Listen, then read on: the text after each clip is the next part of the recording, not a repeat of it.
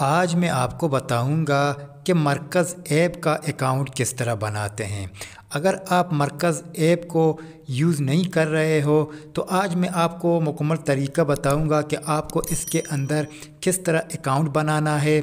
आप इसके अंदर किस तरह अपना अकाउंट आसानी से बना सकते हो। और मैंने एक वीडियो बनाया है कि आप इसके अंदर किस तरह पैसे कमा सकते हो। अगर आपको इसके अंदर पैसे कमाना है तो मैं उस वीडियो का लिंक आई बटन में दूँगा, एंड स्क्रीन में दूँगा। आप उस वीडियो को मुकम्मल देखो। आपको मुकम्मल डिटेल उस वीडियो के अंदर मिल जाएगा कि मरकज़ ऐप के अंदर किस तरह पैसे कमाते हैं और किस तरह प्रोडक्ट को सेल करते हैं। आज मैं आपको बताऊँगा कि मरकज़ ऐप का अकाउंट किस तरह बनाते हैं। सिंपली आपको जाना है प्ले स्टोर में। जब आप प्ले स्टोर में जाओगे तो आपको सर्च बॉक्स में लिखना है मरकज़ ऐप जब आप मरकज़ ऐप को लिखोगे तो आपको इंस्टॉल करना है। जब आप इंस्टॉल करोगे, उसको ओपन करोगे तो आपके सामने ये ऑप्शन ओपन हो जाएगा। सिंपली आपको अपना मोबाइल नंबर इधर ऐड करना है।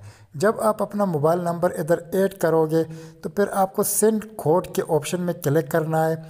जब आप सेंड कोड के ऑप्शन में क्लिक करोगे तो आपके मोबाइल नंबर में एक ओ कोड आएगा, आपको वेरीफाई करना है। तो मैं अभी करके आपके सामने आपको करके दिखाता हूँ। मैं सेंड कोड के ऑप्शन में क्लिक करता हूँ।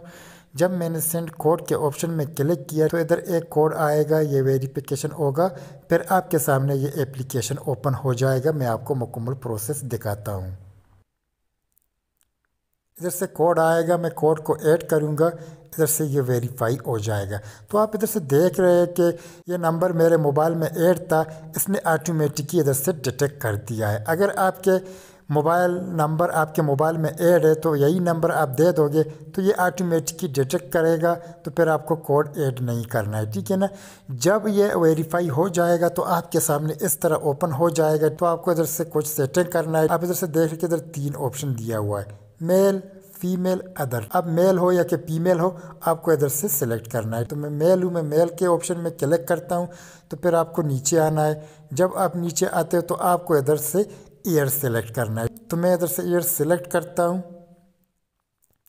तो मैं इस ऑप्शन में टिक करता हूँ तो फिर आपको इधर से डन करना है। जब आप इसको इधर से डन करोगे, बस आपका अकाउंट इधर से बन जाएगा। आपका अकाउंट इधर से ओपन हो जाएगा।